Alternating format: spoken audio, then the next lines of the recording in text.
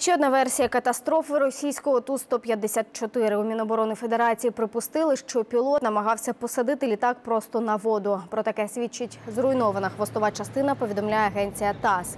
Її фрагменти вже підняли з дна Чорного моря поблизу Сочі. Також водолази знайшли і дістали першу чорну скриньку. Вона була під кабіною літака.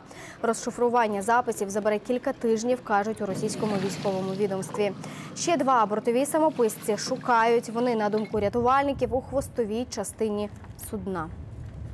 Предположительно были обломки хвостовой части самолета. Вот.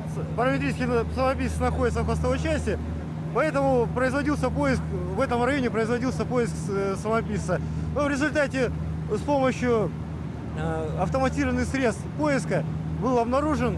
Вот. Водолазы корабля «Еврон» э, благополучно его подняли, поместили в среду, в которой он был помещен. Сейчас будет направлен для исследования вот, в город Москву.